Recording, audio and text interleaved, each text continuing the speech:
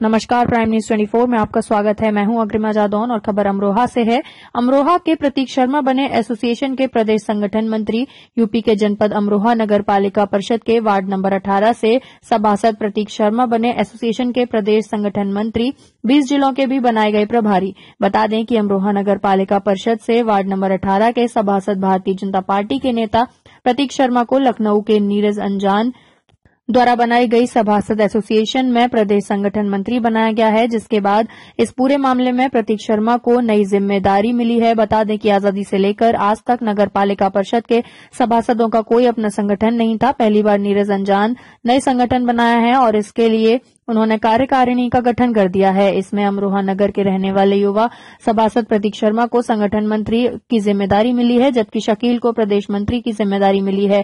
उसके बाद से कार्यकर्ता में खुशी की लहर दौड़ गई और पालिका सभासदों ने प्रतीक शर्मा का फूल माला पहनाकर मिठाई खिलाकर जोरदार स्वागत किया है। प्राइम न्यूज़ ट्वेंटी के लिए अमरोहा से काविंद्र सिंह की रिपोर्ट।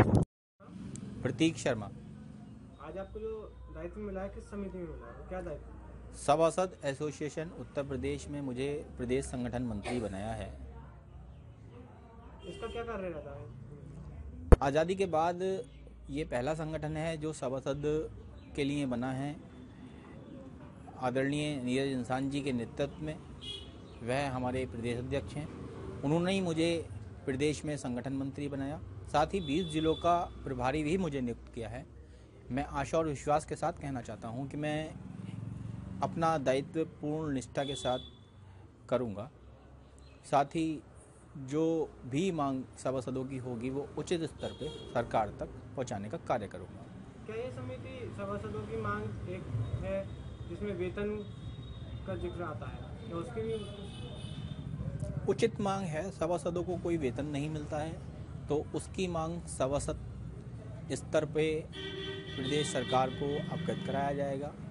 कहा जाएगा कि सभासदों के वेतन के लिए कोई उचित निर्णय लिया जाए।